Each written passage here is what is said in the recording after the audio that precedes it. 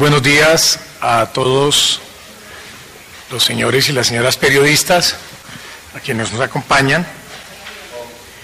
Eh, queremos, en primer lugar, manifestar lo siguiente.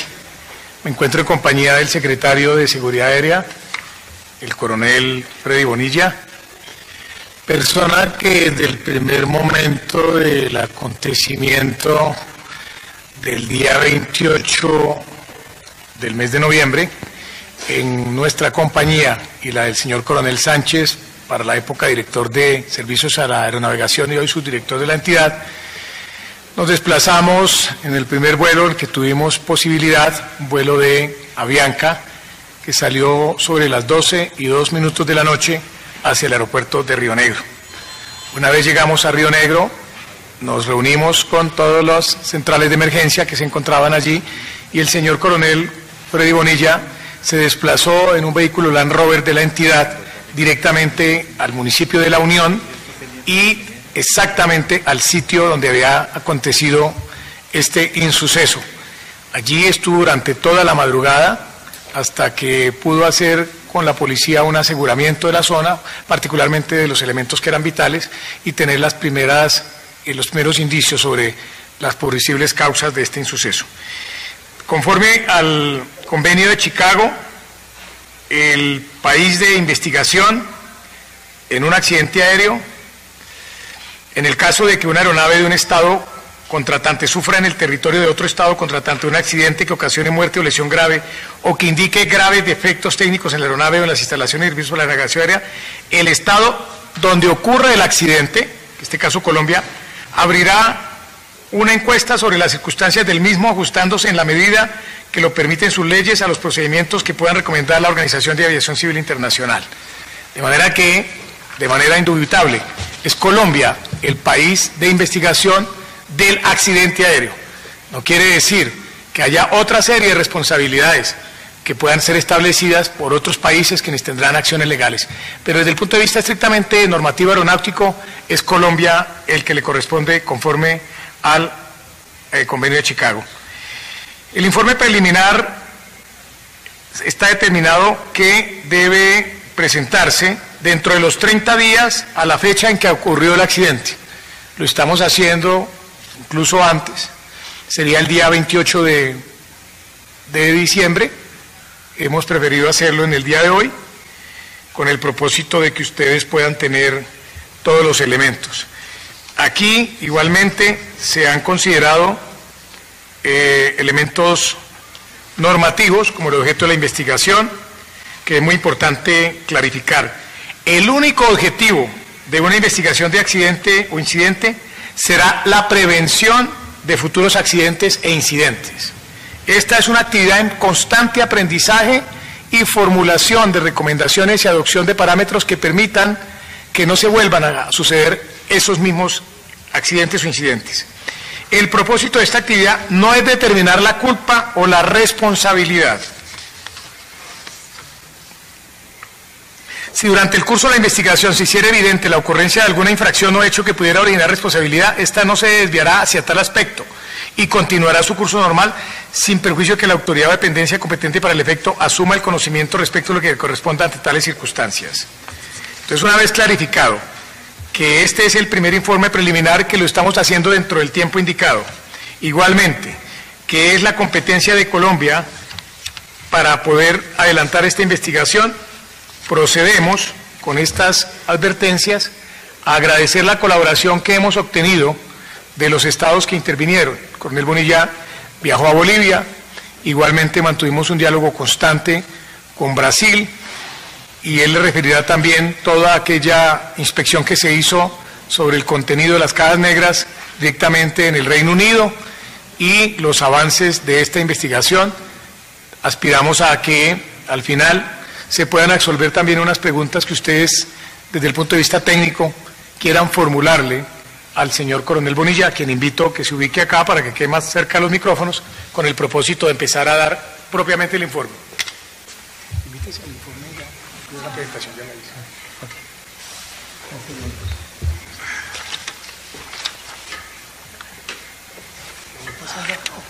No, señor, ella, ella, ella, sí. Buenos días. Eh, quiero agradecer especialmente a nuestro presidente, vicepresidente, ministro y director de la aeronáutica, quienes en todo momento nos dieron todo el apoyo y todos los recursos necesarios para realizar la investigación en forma rápida y en una forma que, como ustedes están observando, en unos pocos días logramos tener toda la información para lograr nuestro informe preliminar. El informe preliminar es un informe que se da factual sobre los hechos que a la fecha hemos, tenemos evidencia para tomar las medidas de prevención inmediatas para que no ocurra elementos, eh, eventos tan lamentables como el que el ocurrido con el accidente de esta aeronave Auro RJ-85. Vamos a ir pasando a una presentación, una simulación, vamos a hacer unos cortes, damos unas explicaciones y vamos aclarando puntos por puntos. La aeronave, una aeronave RJ-85 de matrícula boliviana, perteneciente a una empresa Lamia, que es una empresa no regular. Quiero hacer claridad en esto. Es una empresa que no presta servicios de transporte de línea, o sea, vuelos regulares de transporte de pasajeros que tengan un itinerario fijo, sino que simplemente ah, actúa de acuerdo a la contratación, ah, realizando vuelos charter, vuelos charter de acuerdo a los contratos que eh, venían eh, siendo acudidos a esta empresa. Por lo tanto, es una empresa de transporte no regular. El lugar del accidente, eh, vamos pasando. Eh, ocurre en el Cerro El Gordo, como todos lo sabemos, en el municipio de La Unión, departamento de Antioquia, en Colombia. Por ser el estado de suceso, de acuerdo al anexo 13 de la OASI, eh, convenio de Chicago, el estado de suceso conforma y lidera la investigación. Dentro de esta investigación está conformada dentro de la Junta de Investigación de Accidentes. Eh, invitamos a Bolivia, a los expertos bolivianos de la autoridad de la Autoridad Aeronáutica de Bolivia, a la Autoridad de Investigación de Accidentes del Reino Unido, quienes fueron los encargados de realizar la transcripción y manejo de las cajas comúnmente conocidas como cajas negras. Esta información fue entregada a nuestros investigadores para tener este informe que a continuación les vamos a presentar.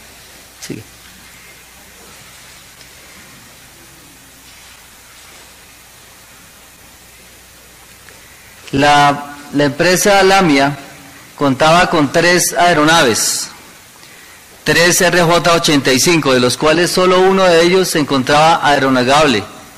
Esta empresa fue certificada por la autoridad boliviana en el julio del 2015, obtuvo su resolución de operación. Igualmente, dentro de su desempeño operativo, Lamia Corporation SRL eh, tenía como centro de operaciones el aeropuerto de Trompillo en la ciudad de Santa Cruz de la Sierra, en Bolivia. Dentro de esta ubicación realizaron una serie de vuelos, eh, todos de acuerdo a, contrato, eh, desempeñó vuelos dentro de la contratación de transporte de equipos de fútbol dentro del desarrollo del campeonato de la Copa América. El, accidente deja lesionadas o muertas 71 personas, tres eh, mortales de la tripulación y uno que sobrevive, que fue el técnico Erwin, quien eh, desarrollaba actividades de eh, técnico. Seguimos. Y una lesión leve que fue la auxiliar de vuelo, quien quedó ilesa. El vuelo inicia desde el aeropuerto Virubiru de Santa Cruz de la Sierra. Y aquí vamos a hacer una descripción inicial del video. El, despegue se realiza a las 22 y 18 horas UTC, Universal Time Coordinator, por la pista 3-4, despega hacia el norte.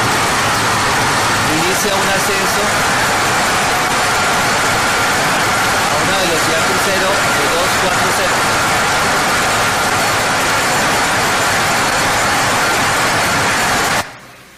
Una hora después, a las 22 y 18 UTC, la aeronave alcanza nivel de 260.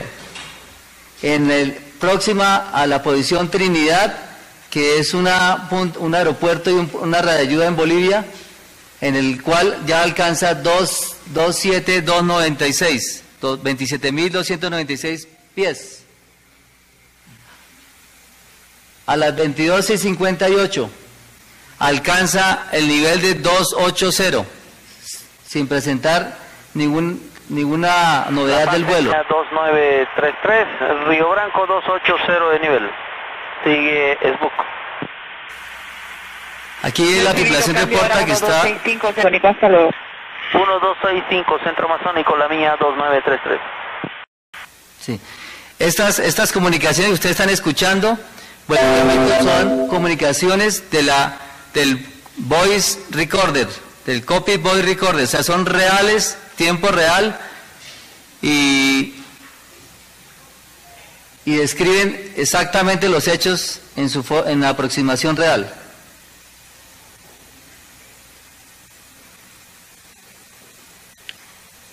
La aeronave continúa su vuelo, pasa la posición Río Blanco, eh, Río Branco, que es en Brasil, cambia a Brasil y se aproxima a la posición Pavón, donde ingresa al espacio aéreo colombiano.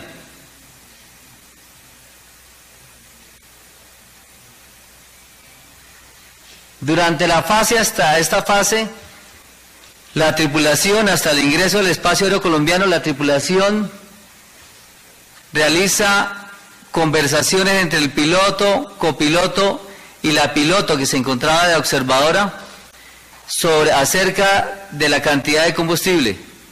Realizan una serie de cálculos. Bogotá Centro, Lima Mike India 2933. Lima Mike India 2933, Bogotá Control Prosigue. Buenas noches, 300 de nivel, respondes 6363. Lima Mike ya 2933 recibido. Está en contacto radar, nivel de vuelo 300. Le confirmo su ruta. Está autorizado proceder a Río Negro vía Aruxa, Pavor, Bogotá, Bogotá, Nirso, Nirso, Río Negro. Copiado de Lima Mike India 2933. Ah, en este punto, anterior a este punto, la tripulación hace una serie de, sobre todo el copiloto, el copiloto Gotia, realiza todo el tiempo una serie de cálculos de combustible, teniendo en cuenta que hasta la posición Pavón el viento era de frente, lo cual no le favorecía a la aeronave para desarrollar un vuelo mucho más rápido. El, el vuelo a este nivel requería obviamente un mayor consumo de combustible por el viento de frente. El, copiloto realiza varias ocasiones el cálculo de combustible, discute o eh, más bien eh, expone al, piloto la situación. El piloto inicialmente eh, prevé la posibilidad de ingresar a Leticia o a Bogotá por encontrarse en el límite de combustible. Y decide finalmente, porque dentro de la discusión que presenta el copiloto con el, copiloto con el piloto, no digamos la discusión, sino dentro del interactuar acerca de los cálculos de combustible, eh, prevén entrar a Leticia, pero no tienen la información acerca de si Leticia está o no operable. En ese momento Leticia estaba operable. Sin embargo, la tripulación no realiza ningún requerimiento al centro de control de Bogotá en el sentido de poder aterrizar en Bogotá, lo cual, eh, perdón, Leticia, lo cual hubiera sido autorizado teniendo en cuenta la situación de la aeronave. Posterior a esta, a esta decisión, el piloto decide ingresar a Bogotá, pero más adelante, vamos a ver, cambia la decisión y se va directo hasta la posición NIRSO hacia aproximar al aeropuerto de Río Negro.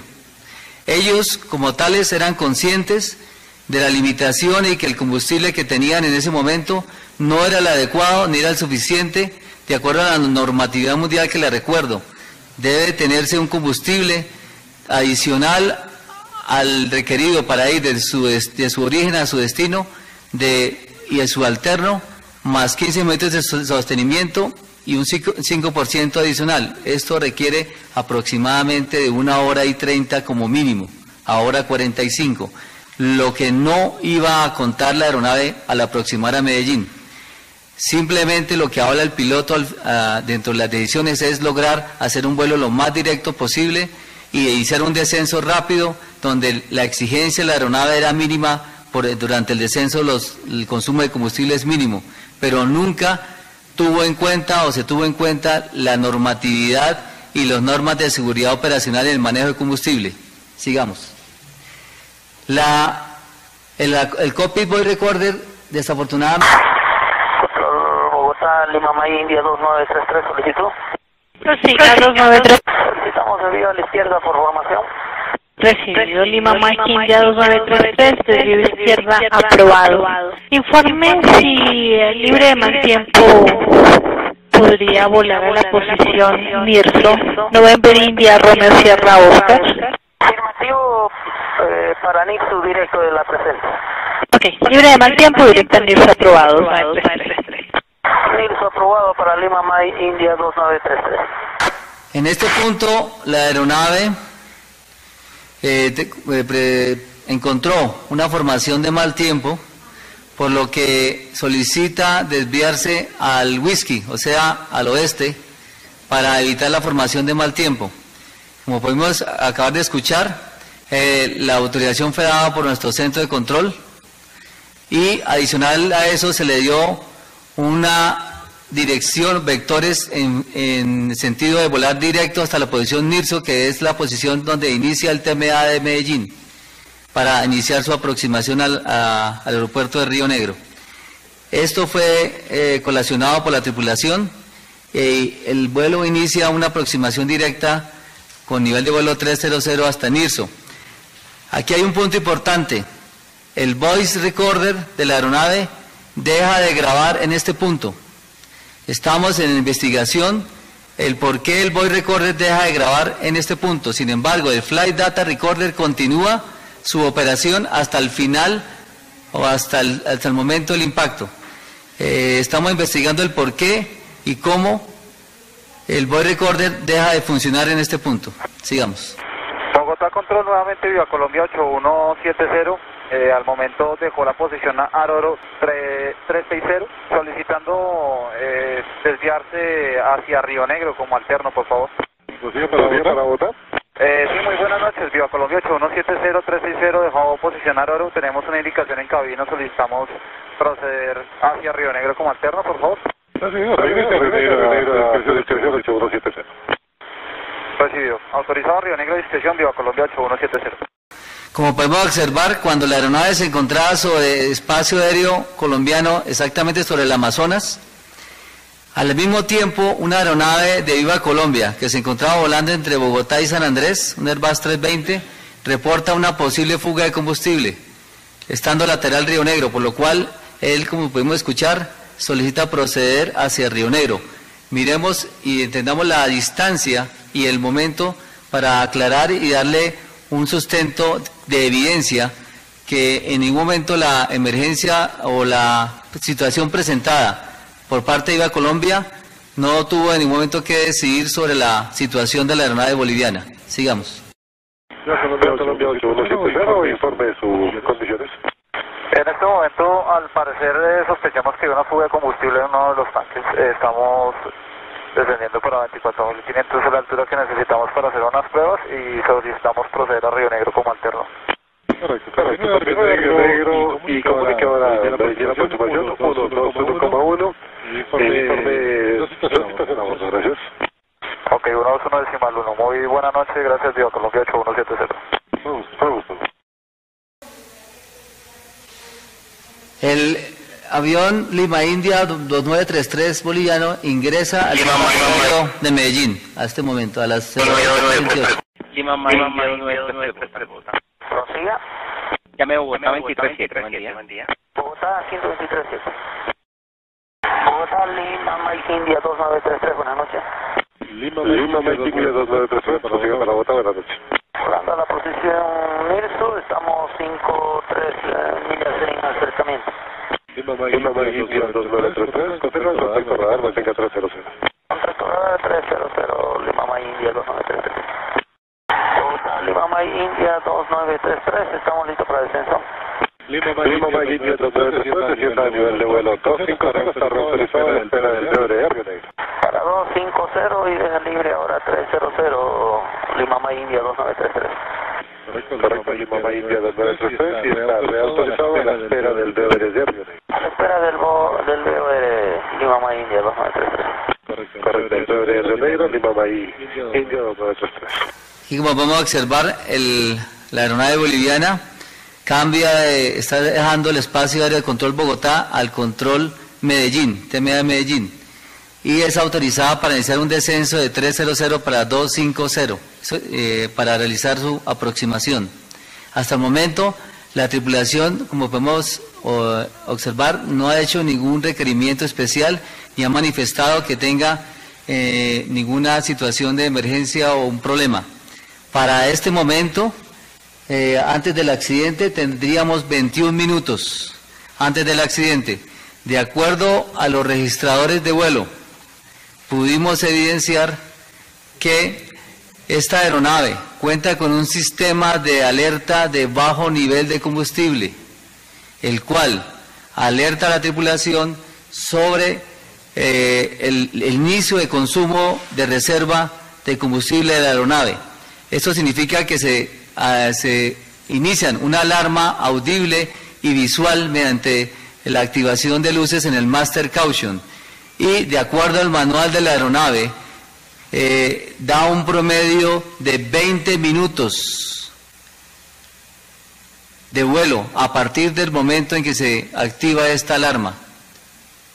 Esta alarma fue activada de acuerdo al Flight Data Recorder dos minutos posterior a esta posición. Sigamos. Lima May India 2933, alcanza 250.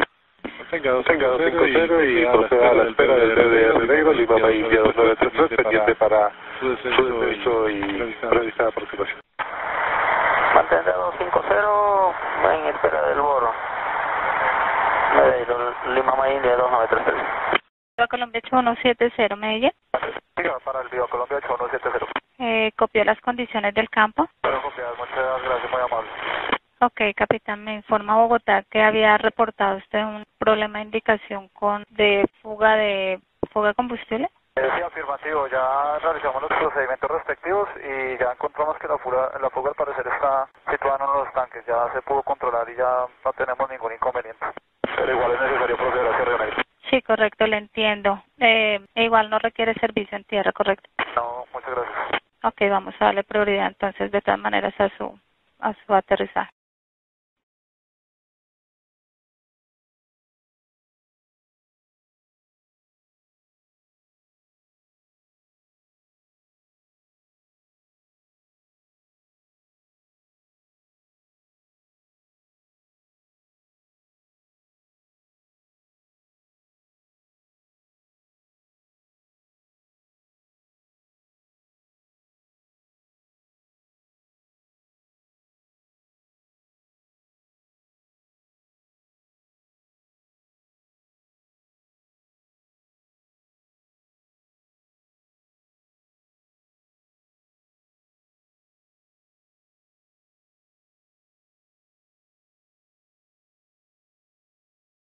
Avianca 9356 prevé a- hora prevista de aproximación 0310. 0310, Avianca 9356, me confirma, con, continuamos con 200 al BOR de Río Negro. Sí, correcto, mantenga 20.000 pies. 20 pies, Avianca 93. Río Negro, Lima May India 2933, buenas noches. Lima Ma India 2933, control, buena noche, contacto radar. Mantenga, desciende, mantenga nivel de vuelo 230. Incorpórese en el borde Río Negro. Para 230 nos incorporamos a Bor Río Negro. Correcto. Confirmar el Viva Colombia ya aproximó a Real José María Córdoba. Está en la aproximación la aeronave. Eh, Viva 8170, ¿puede continuar el descenso? afirmativo, eh, inicia el descenso, Viva Colombia 8170. Como podemos también observar, al momento de comunicación de la aeronave boliviana, eh, se encontraban tres tráficos en aproximación, evolucionando en aproximación de Río Negro, tres Airbus 320, y que tenían niveles de altitud inferiores al de la aeronave boliviana, por lo que estas aeronaves se encontraban en este momento realizando patrones de sostenimiento en el BR de Río Negro. La aeronave boliviana fue autorizada para eh, aproximar, realizando inicialmente unos patrones de sostenimiento en el BR Río Negro, pero por solicitud de ellos mismos solicitan sostener y realizar patrones de sostenimiento siete millas al sur de Río Negro en un punto que se llama Henley. Es un punto de eh, reporte para aproximaciones basadas eh, en la navegación eh, satelital. Sigamos. Avianca 9771 incrementa hasta abandonar 20.000 pies, tránsito de su compañía, nivelado 20.000 de frente a la 12 de su posición 23. Ok, estamos continuando descenso para 190, Avianca 9771. Siga descenso ahora 18000 con NH 3027. 18307, Avianca 9771. Lima Maya India 2933. Siga descenso a 2210 ahora. A 210 ahora, Lima May India 293. Correcto. Lima India 2933, posibilidad para mantener el patrón en la posición Gembly. Autorizado. Mantener el patrón en Gembly. Medellín, Avianca. Entonces me va a permitir dar una explicación más didáctica en este punto.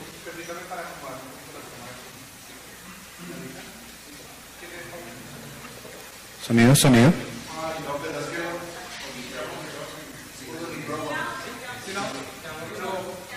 Un señalizador. Bueno, Si tiene un señalizador, bueno. aquí tenemos la posición Henley, aquí está el BO de Río Negro. La aeronave desciende para 210 y se va a incorporar acá. Hacer este patrón de sostenimiento. Las demás aeronaves se encontraban aquí en el BO sosteniendo una altitud menor. Sí.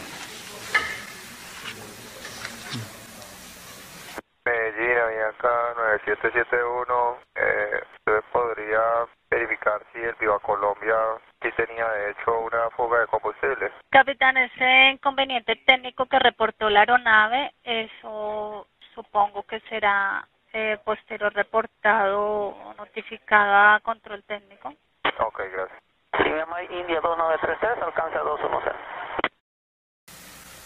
Aquí es importante señalar, esta es la posición Henley, que en donde la aeronave va a realizar los patrones de sostenimiento. La aeronave llega con nivel de vuelo 210. Recordemos, de 300 fue autorizado a 250 y ahora Control Medellín lo sigue descendiendo hasta 210.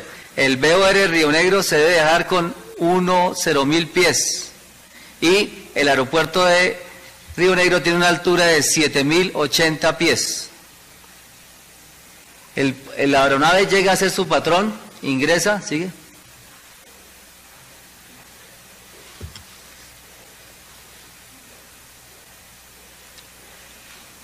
A las 02.44, 13 minutos antes del accidente. India 2933, establecido en, en Gembly, patrón de espera 210. Recibe. Tercer cambio localizador 01, Vía Colombia 8170. La Colombia 8170 recibido 186 Córdoba Torre, adicional le informo, la torre reporta pista húmeda a la hora. Gracias por la información, muchas gracias por su colaboración 186, Vía Colombia 8170. Ok, recibido. Importante señalar, mientras la aeronave Viva Colombia ya se encontraba, como escucharon, en aproximación ya para aterrizar, la aeronave boliviana inicia el sostenimiento en, el- en la posición Henley. O sea que hasta el momento la aeronave boliviana no ha reportado ninguna eh, procedimiento que requiera la atención o la prioridad por parte del centro de control. Sí.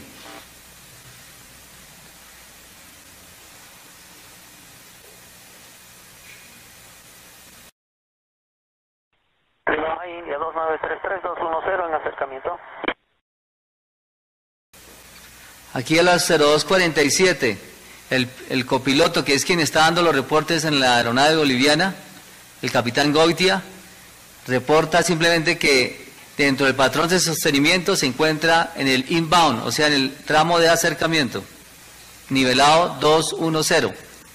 En este punto, India 2933, 210 en acercamiento y solicitamos prioridad para la aproximación. Señorita, se nos ha presentado una- un problema de combustible. Antes de esta comunicación, la, la tripulación activa su primer set de flaps.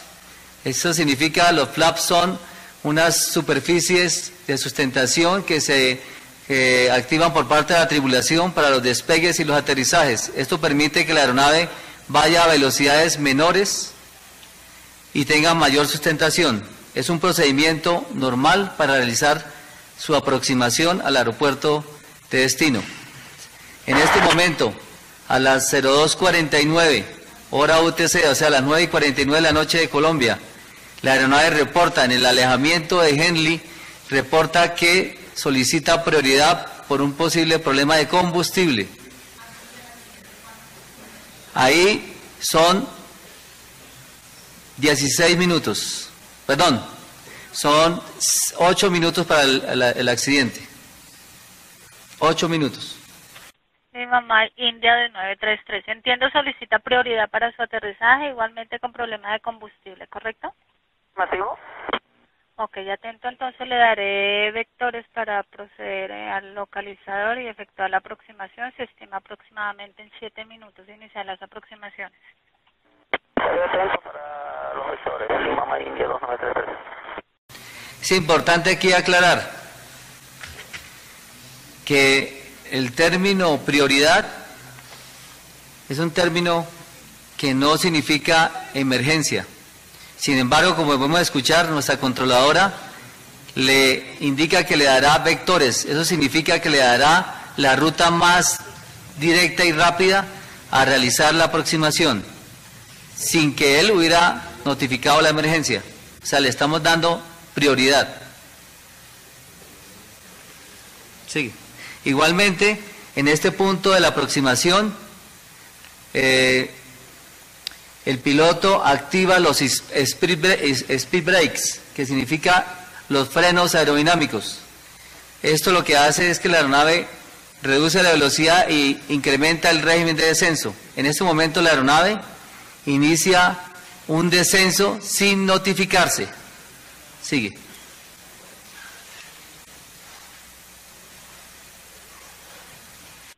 Mi mamá India de 933. Entiendo, solicita prioridad para su aterrizaje, igualmente con problema de combustible, ¿correcto? ¿Masivo? Ok, ya atento, entonces le daré vectores para proceder eh, al localizador y efectuar la aproximación. Se estima aproximadamente en 7 minutos iniciar las aproximaciones. Para los vectores. Lima, India 2933. Lima India 2933. Notifique rumbo. 1, 179 en alejamiento. Mantenga presente rumbo y espere para iniciar el, para continuar su descenso. Mantendrá presente rumbo y estamos atentos. Línea de aproximación a Bianca 9771, ¿es posible continuar nuestro alejamiento hasta la milla, 5 millas más, u- hasta la milla 15? No, capitán, necesito que inicie el acercamiento. La aeronave de delante suyo está a una milla. Necesito iniciar el descenso de esa aeronave y se declaró con prioridad para el aterrizaje. Pero entonces ahora iniciamos el acercamiento a Bianca 97791. Sí, gracias. Importante señalar, nuestra controladora, ante la solicitud de la tripulación boliviana de prioridad, inicia una, a dar instrucciones a los demás tráficos para dejar el espacio aéreo a esta aeronave para que pudiera aproximar en forma directa. Las demás habían una aeronave que estaba realizando ya la aproximación y fue cancelada esta aproximación, como escuchamos, para darle toda la prioridad y todo el espacio aéreo a la aeronave bol- boliviana. Mama India 2933 solicita vectores para acercamiento, señorita. Atento, tengo una aeronave por debajo, por debajo suyo efectuando la aproximación y adicional están efectuando la revisión de pista. ¿Qué tiempo tiene para permanecer en su aproximación Lima India? Estamos en- con emergencia de combustible, señorita, por eso le pido de una vez curso final. Este punto es muy importante. Nuestra controladora le pide que eh, exprese cuánto tiempo tiene para sostener que, de acuerdo a las normas, como expliqué anteriormente, esta aeronave en este punto debía de tener mínimo combustible suficiente para volar hora 01 45 horas, minutos, perdón, 01 hora y 45 minutos. Por eso nuestra controladora le pregunta que cuánto tiempo tiene disponible para sostener e inmediatamente la tripulación reporta la emergencia por combustible. Dice, estoy pidiendo, como ustedes lo escucharon, prioridad, estoy en emergencia. Me declaro en emergencia. Y esto es a las 02, a las 9 y 52 minutos. 9 y 52 minutos. 7 minutos antes, 6 minutos antes del accidente.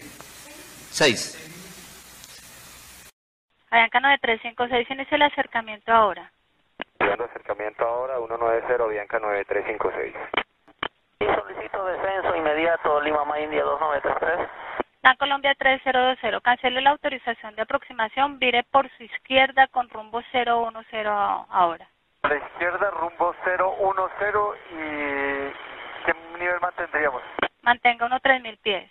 3.000 en Colombia 300, pues le Lima Ma India del 933. ¿Puede usted efectuar el viraje ahora por la derecha para iniciar el, el descenso? Tiene los tránsitos a una milla por debajo de usted.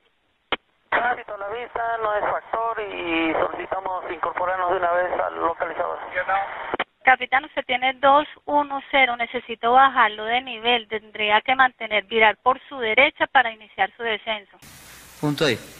En este punto, la aeronave activa, la tripulación activa los flaps en posición 24, la segunda posición de los, de los flaps. Igualmente, la velocidad inicia a reducirse e inicia un descenso. Y el motor número 3, motor número 3, inicia a apagarse. Por cuanto la velocidad de su turbina del motor número 3 Debido a la falta de combustible, el motor Aclaro tiene cuatro motores, este avión tiene cuatro motores, y en este punto de la aproximación inicia el shutdown no intencional de los pilotos del motor número 3. La tripulación no reporta a ATC esta situación. Sigue.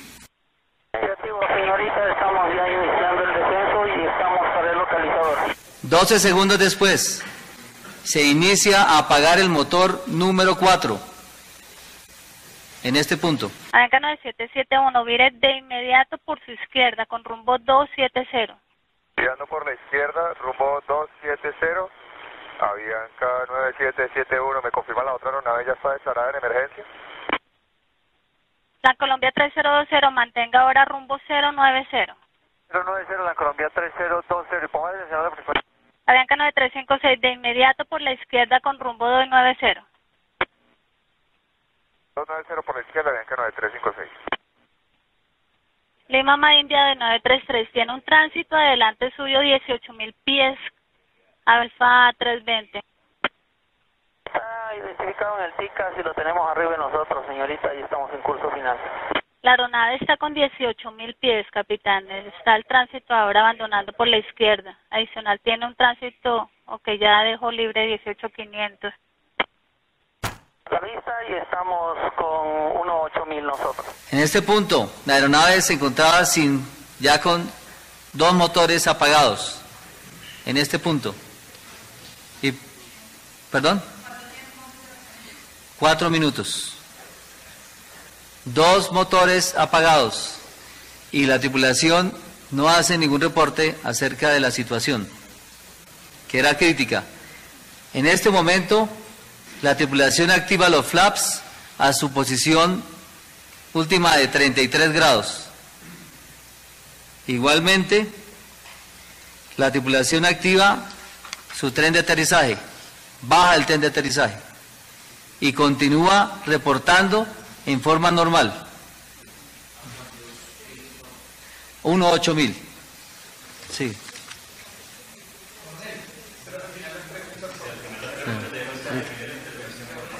Sigue. Sigamos. Colombia 300, eh, ¿por cuánto más mantendríamos el rumbo? Atento, Lima Ma India de 933 17700, continúa en la aproximación, pista húmeda, llame por 10 mil en lo practicable y se requiere algún servicio en tierra. En este momento se inicia a apagar el motor número 2. Eh, dale un poquitico atrás porque aquí es importante. Nuestra controladora le pregunta si requiere de un servicio adicional en tierra. Y escuchemos lo que se, se responde por parte de la tripulación. La vista y estamos con 18000 nosotros. Colombia 300, eh, ¿por cuánto más mantendríamos el rumbo? Atento, Lima Ma India de 933-17700, continúa en la aproximación, pista húmeda, llame por 10000 en lo practicable y se requiere algún servicio en tierra. Le confirmaremos para el servicio en tierra y estamos eh, a través de 16000 para el localizador. Recuerdo QNH 3027. Pista 27. Aquí tiene, la, la aeronave ya tenía tres motores fuera. Y no, como ustedes escuchan, no reportó absolutamente nada. Ah, es más, la controladora le pregunta si requiere algún servicio en tierra adicional. Y él le contesta que no, por ahora no, que le notificará más adelante. Sigue. Necesitamos eh, rumbo por la derecha en la Colombia 300 por mal tiempo. Autorizado la Colombia 3020 por la derecha con un rumbo 200, ¿le es practicable? 200, eh, iniciaríamos el, el viraje y ya le informamos. Ok, la Colombia 3020 recibida. Avianca 9771 sigue con rumbo 70.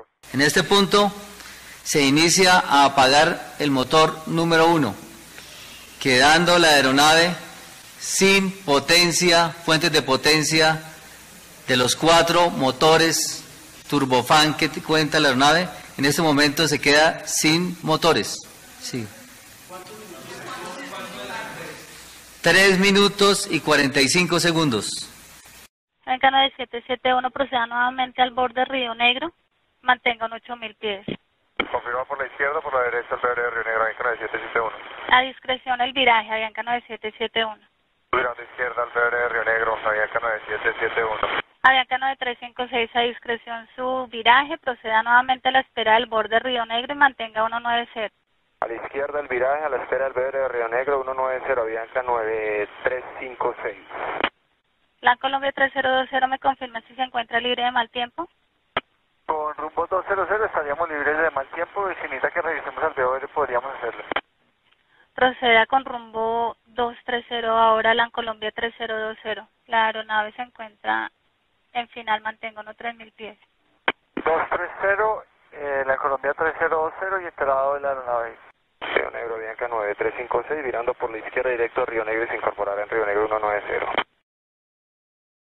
Señorita Limamá India 2933 está en falla eh, total, eléctrica total y combustible. En este punto, la tripulación a las 9 y 57 y 29, dos minutos antes del impacto, reporta que tiene falla total eléctrica, sin combustible. La falla total eléctrica se da como causa de la no generación de energía por parte de los motores. Los motores de la aeronave son las fuentes de energía de las aeronaves. Adicionalmente, esta aeronave contaba con una APU, pero como la aeronave se quedó sin combustible, no tenía cómo operar la APU, o sea que no tenía ninguna fuente generadora de energía. En este caso, lo que pasa a activarse por, los procedimientos de emergencia son unas baterías de emergencia que le van a dar solamente la lectura de dos o tres instrumentos básicos, el horizonte artificial de emergencia, velocímetro de emergencia, RMI de emergencia y luces de emergencia. Sigue. Pista libre y operable, lluvia sobre la estación Limamá India de 933, bomberos alertados. Señado Limamá India. Vectores, Vectores, señorita, vectores a la pista. La señal radar se perdió, no lo tengo, notifique rumbo ahora.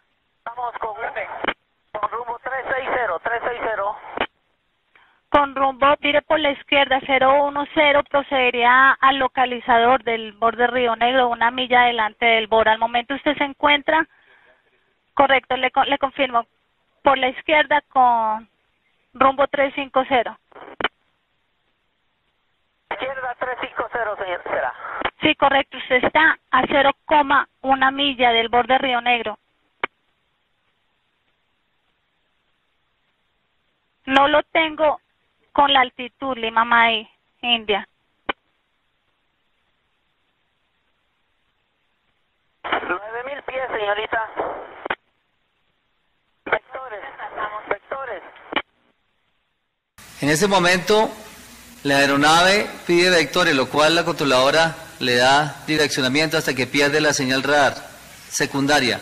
Queda solamente la señal primaria, la cual no le da rumbo ni altura, simplemente la posición geográfica. Eh, la aeronave desciende de forma eh, rápida, quedando por debajo de la altura mínima de descenso en el sector. El BOR, las aeronaves deben volar de 10.000 pies o superior. En ese momento él reporta que tiene 9.000 pies, 1.000 pies por debajo de la altura mínima del sector. Es por eso que eh, la aeronave impacta contra el cerro. Sí. Está a 8.2 millas de la pista. Jesús, ¿Qué altitud tiene ahora?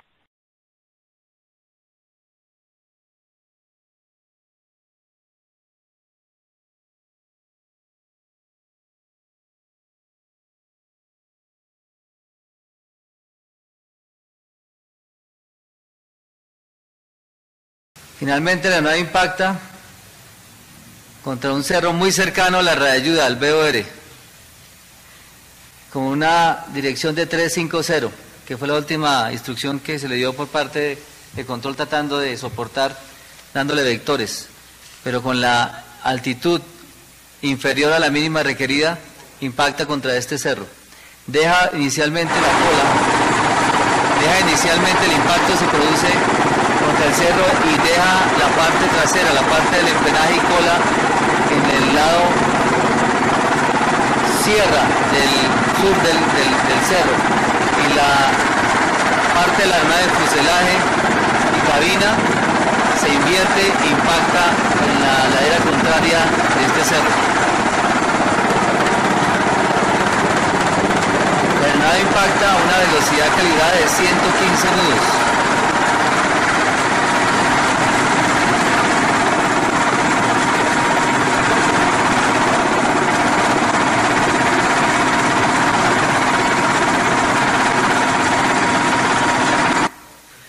Como puede usted observar, todo el tránsito y todo el informe que, se está, que estamos reportando es basado en evidencia.